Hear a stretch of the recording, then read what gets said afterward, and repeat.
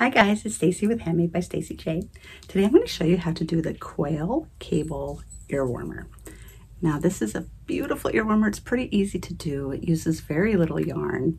And for this one, I used the King Cole Luxury Merino. So it's super warm, super nice. Now the headband itself has an I-cord edging with the cable work. Now the, the twist up here, I do sew a little bit differently. So I'll show you in the video how I do it. And it gives it a little bit more of a almost a little bit more of a pucker, but when it lays flat, it looks more like a bow, but it doesn't really pucker up much here in the front. So, I mean, you can sew it any way you want, but I'm going to show you how I sew it my way. And uh, here, I'll take this off so you can see it a little bit better. So just look at the detail of this cabling. Like, isn't that pretty? So I'm going to show you how to do this. And this is a free pattern. You can go on my blog at www.handmadebystacyj.com. Before we get started, please remember to like and subscribe. Let's get started. So let's go over the materials we're going to need for the headband. Now I am using the King Cole Luxury Merino DK weight yarn and it's in the shade Pewter. It's a lovely, lovely gray and it's super squishy. It's going to be great for a headband. It is 100% merino superwash and this is a 50 gram ball that holds approximately 153 yards or 140 meters. And we're also going to need some US size 6 or 4 millimeter knitting needles, some scissors, a cable needle, a tapestry needle, and your tape measure. Now, with the tape measure, before we get started, go ahead and measure the head of the person that this is going to be intended for. I'm making this for myself, so my head is 22 inches, and we're going to be working with a negative ease with the headband. So I'll go over that a little bit more as we get working in with the project. To start off, we're going to begin by using the long tail cast on method and we're going to cast on 32 stitches. Now, if you want to make this wider, you can by adding 18 stitches, because uh, that's what the stitch works in the multiples of. But for this purpose, we're going to do 32. For row one, we're beginning on the wrong side, and we're going to be working a three stitch I-cord border on each side of the headband. So to begin with that, we are going to start by slipping one purlwise with the yarn in front. Then we're going to knit the next stitch, and then we're going to slip the next one with the yarn in front. Now we're going to begin the pattern. So we're going to knit two, so one, two, then we're going to purl two. Purl one, purl two. Then we're going to slip with the yarn in front two times. So one and two. Then we're going to purl two.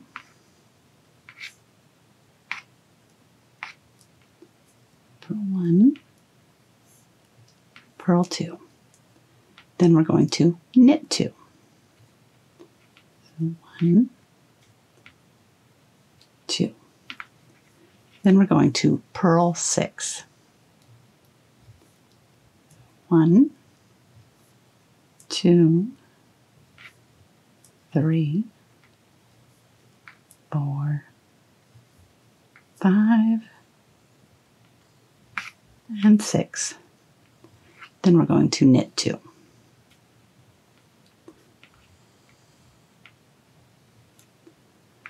After we do that, we're going to purl two, purl one, purl two, then we're going to slip two with the yarn in front, and always slip purlwise. Then we're going to purl two. One, two, then we're going to knit two,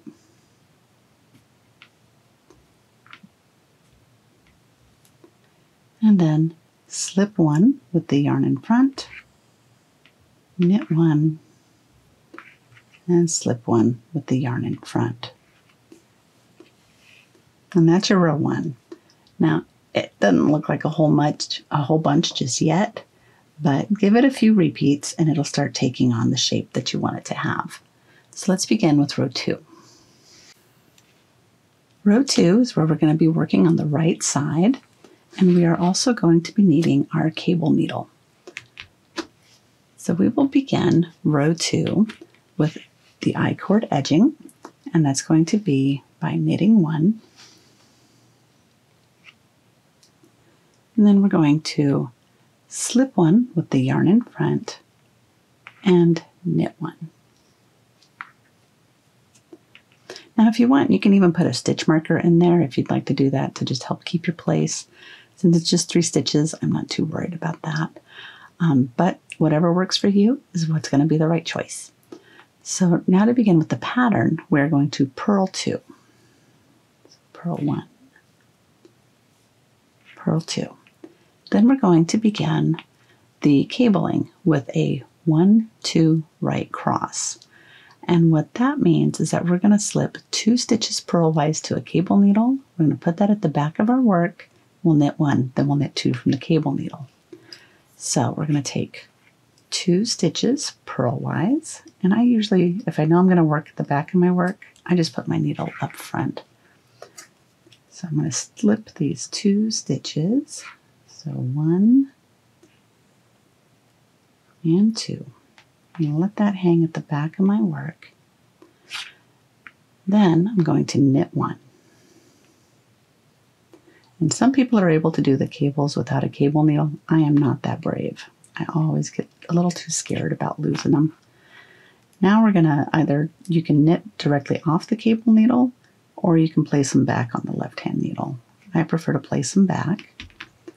And I'm going to knit those two. So one, whoops, and two. Then we're going to do a one, two left cross.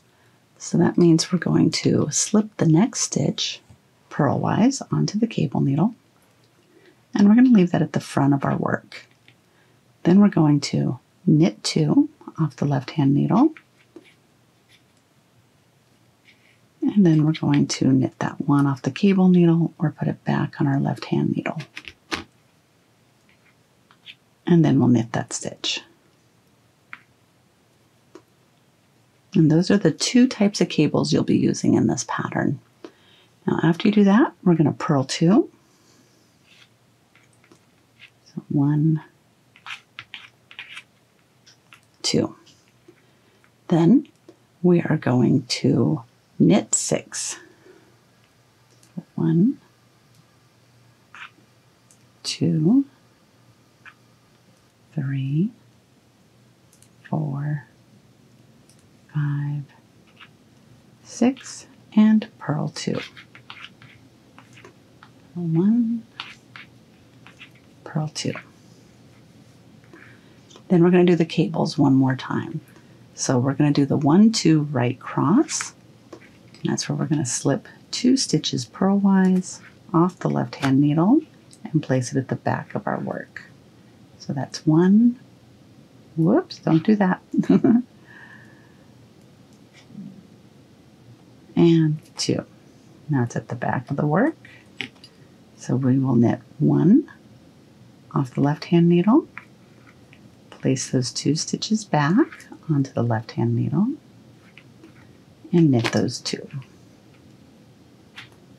So one and two. Then we're going to do the one, two left cross. So we're going to slip one onto the cable needle purlwise, hold it at the front of our work, knit two. So one, two. Then we're going to place that stitch back on our left hand needle, put the cable needle away, and knit that one stitch. Then we're going to purl two, purl one, purl two. And then we're back to our I-cord edging. So we're going to knit one, slip one with the yarn in front, and knit the last stitch.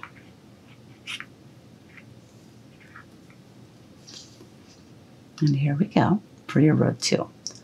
For rows three through six, you'll repeat the two rows we just did two more times. So I'm going to go ahead and work those two times and then I'll meet you for row seven. So I've repeated rows one and two two more times and this is what your piece of work should be looking like. And you'll notice that you have these great little, almost like a fishtail braid that goes up those two sides where you've been working the cables. And now we're going to start working more of a stockinette on these guys, and this is going to start with the cables. So let's get started on row seven. Okay, for row seven, we are back on the wrong side of our work, and we are going to begin by slipping that first stitch with the yarn in front for that I-cord edge, and then we're going to knit one. Then we're going to slip the next one with the yarn in front, and then our I-cord is taken care of. Now we're going to knit two. So one, two, and then we're going to purl six. So purl one, purl two, purl three, four, five, six. Then we're going to knit two. Now we're in that section where we're going to start where the cables are going to work. So we got to build that foundation. So we're going to purl two. And then we're going to slip two with the yarn in front. One, two, and then we're going to purl two. Then knit two.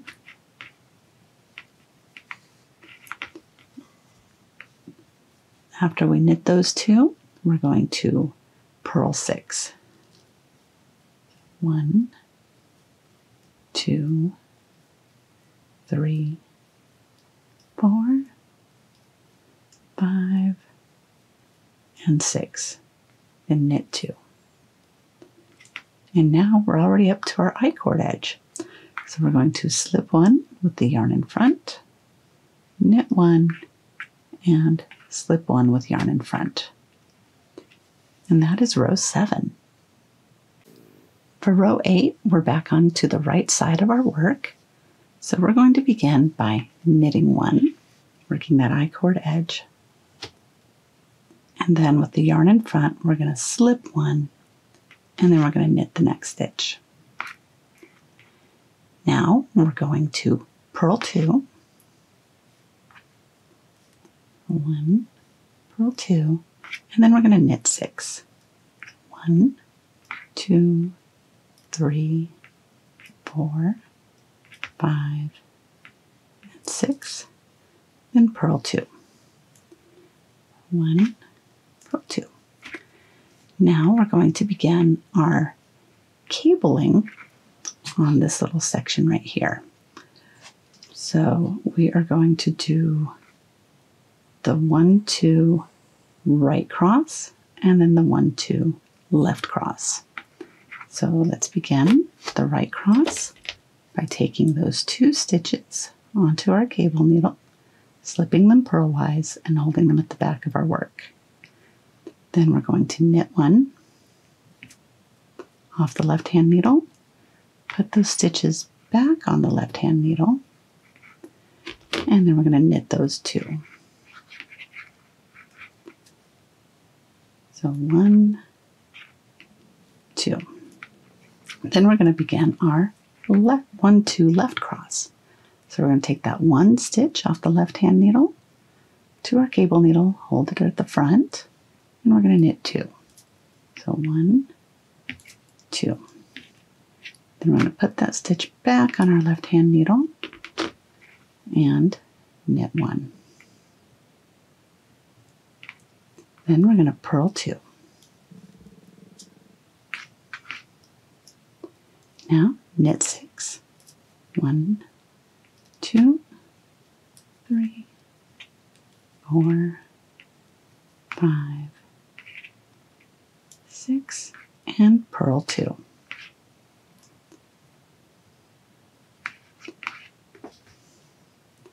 And now we're to our I-cord edge where we are going to do the knit one, slip one with the yarn in front and knit that last stitch.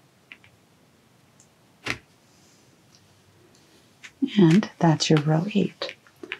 So to do rows 9 through 12, you're going to repeat rows 7 and 8 two more times. So I'm going to go ahead and do those and then I'll show you how it'll look after that repeat. So I've repeated rows 7 through 8 two more times and this is what I have so far. To continue in this pattern for the headband, just continue going until you reach two inches less than the size of the head that this headband is for. So, for instance, when I measured my head and it was 22 inches, I'm going to make mine to 20 inches. So that way it has a little bit of stretch to it and it actually stays on. Um, I'm going to go ahead and do another repeat of rows 1 through 12 so you can see how it looks with a little bit more of the pattern. And I'll see you in just a moment. So this is what I have after repeating rows 1 through 12 one more time. And you can really see the pattern from the cabling really taking shape now. Now when you do the continuation of these rows to continue with the headband, be sure to end on row 5 or 11. So that way when you are done, you will bind off in pattern. Now I'm going to make mine up to 20 inches and then I will come back, show you how we do the bind off, how we do the sewing, and then we get to enjoy our headbands. So I've made my headband to where it's now 20 inches long, and now it's time to bind off. Now this part is going to get sewn in, so if you want to do it knitwise, you totally can. But what I'm going to do is knitwise for the first three, and then purlwise for those two. Knitwise for the next six, purlwise for the next two. So I'm just going to get started on that. And then we'll go over the sewing. So just knitwise for these first three. One, and two, and then that first one counts as the third. But now I'm going to do this purlwise.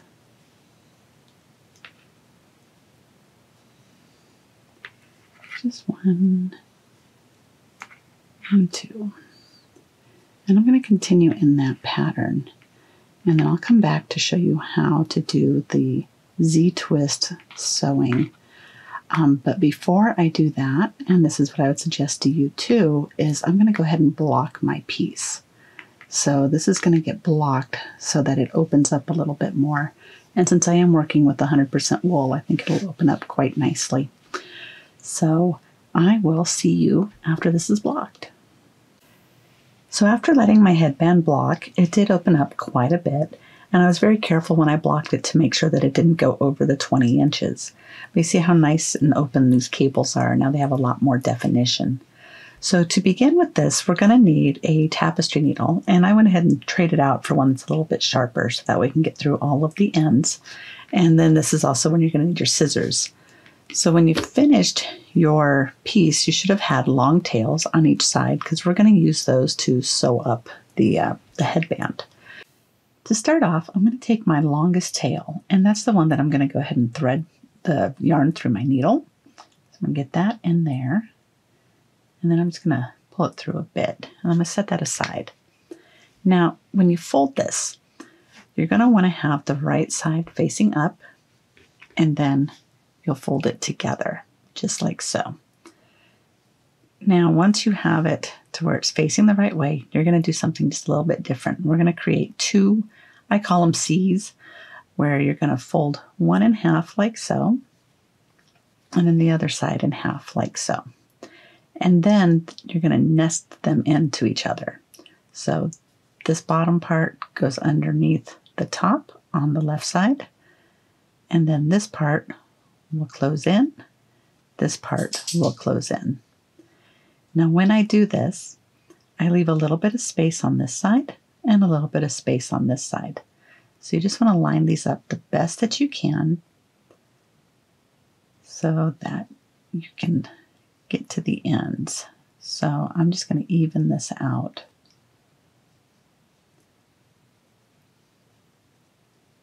So that way it should look like so. Now I'm going to take my needle And I'm going to simply just push it in right about here through all four layers.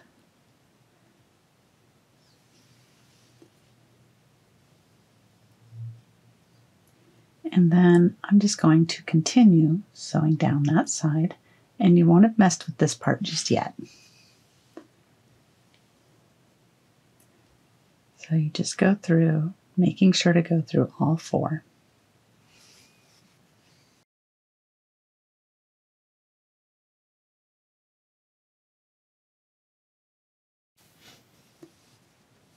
And now when we get to this section, I'm going to fold it down just a little bit so that way we close this area up and we're going to sew around it. Making sure to get it nice and snug.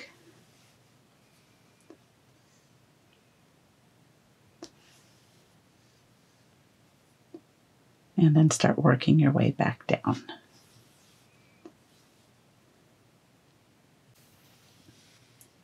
So when you come to this part where you have this little guy left, go ahead and fold it in the opposite direction that you folded this one. And this just avoids big pointy gaps on the right side when you will fold this right side out. So just secure this guy. And I go through this a few times just to make sure everything is secure.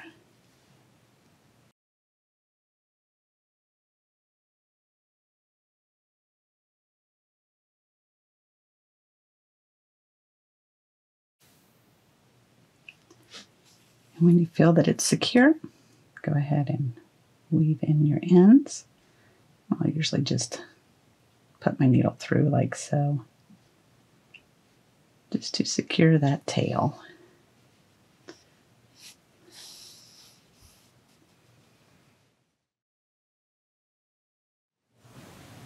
And give it a snip. And now your other tail. You want to make sure that it goes through out to the side where you were working. So I'm going to see where that was. And then I'm just going to poke that through so that way it comes out to where I need to be working. All right.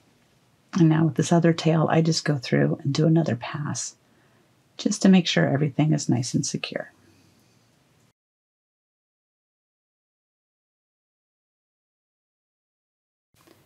and trim that end. Then when you turn it right side out,